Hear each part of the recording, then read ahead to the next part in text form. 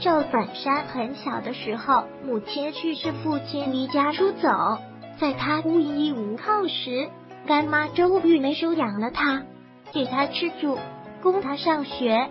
后来又张罗为赵本山娶了媳妇。赵本山成名之后，一直都没有忘记干妈。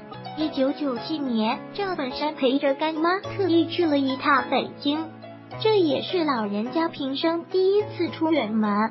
一九九九年，在综艺大观现场，赵本山第一次把这个乡下的老太太推到镜头前，对大家介绍说：“这就是我的干妈，她叫周玉梅，是从俺老家莲花街的茶棚村来的。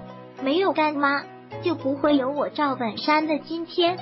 今年春节，赵本山回老家过年，带着女儿看望了躺在病床上的干妈，并给老人家带去了礼品，留下现金，叮嘱他好好保重身体，知恩图报，善莫大焉。